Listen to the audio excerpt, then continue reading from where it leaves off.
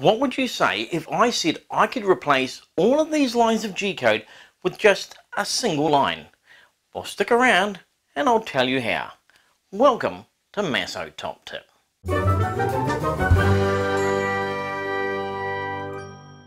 When it comes to getting a plasma to the point of cutting, there are several processes to be gone through. First, you need to probe the material surface to set the torch height. Next, you need to move to the piercing height. Then turn on the plasma. Then wait a set time for the plasma to complete the pierce. Finally, we move to the cutting height and we're ready to start cutting. On Masso G3 and Masso Touch, we've introduced the G200 G-code.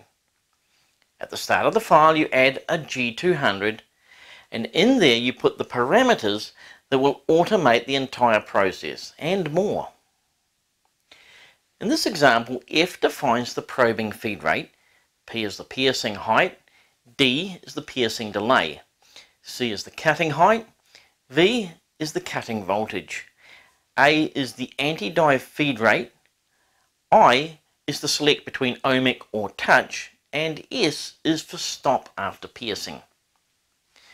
So having defined G200 at the start of the G-code file, I can replace all of the original G-code with a single M3 command.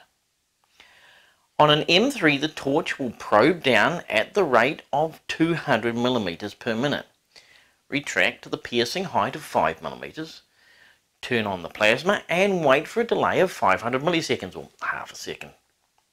I'll then move to the cutting height of 1.5 millimeters just like it did in the previous G-code. However, we've got additional parameters. The V parameter is used by the Masso DTHC and in this example it would set the cutting voltage to 125 volts. The A parameter will lock the THC Z-axis if the feed rate falls below 80%. And for probing, because I've set the I parameter to 1, it will use the ohmic sensor for the touch off. But if I set it to 0, it'll use the touch switch instead. The last parameter is S, and I'll go into this in a bit more detail. When piercing material, until the arc cuts all the way through, the molten material has nowhere to go, but back onto the surface of the stock. On thick material, this can leave a build-up that the torch can run into when it starts cutting. If you set S to 1, after piercing the torch will turn off and rise to the home position. You can now clean the surface of the material and when you're ready press cycle start to continue.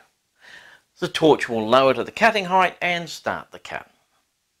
And all that with a single M3 command.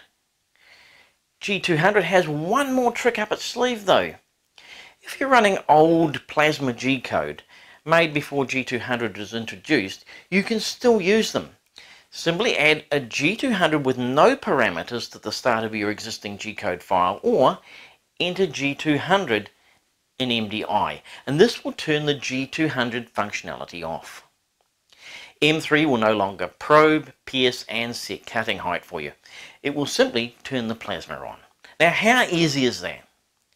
If you'd like to see more videos like this one, please click the subscribe button and ring that bell for notification of all new top tip videos. In the meantime, thanks for watching and I'll see you on the next Masso Top Tip. Cheers!